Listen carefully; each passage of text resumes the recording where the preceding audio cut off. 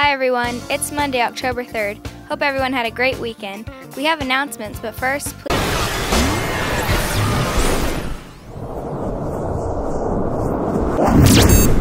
By now, you've probably heard about our football player Daniel Espinoza, who was injured in Friday night's game. The good news is he's home and he's okay.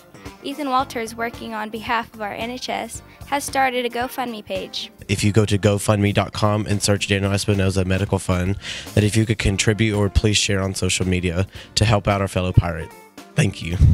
Congratulations, by the way, to Ethan for being this year's homecoming king. Maylee Barrington is this year's queen, as crowned just before the Friday game. Seniors, it's not too late to order your senior ad in the yearbook. Deadline to purchase is Friday, November 4th. Your content is due December 2nd. Buy online at jostensyearbook.com or see Ms. Corsi in 106 for a packet. Juniors, be sure to sign up for the PSAT coming on October 19th. The deadline to pay the 15 is Friday, October 7th. Please bring your cash or check to the counselor's office to pay and register. Annual NHS Fall Drive is set for October 10th here at CHS. That's not so far away. See Mrs. Hicks in room 223 if you're interested in giving blood. In order for your absences to be excused, you will need to turn in a note into the attendance office within three days of you missing school.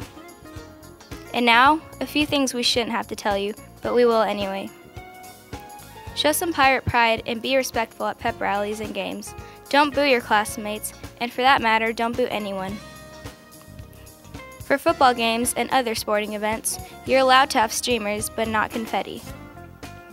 And we still have dress code at the school. Remember, collared shirts and Dockers style pants with belts are the main ingredients to dress code and compliance. One more thing ebooks on overdrive.com. See the library for more info.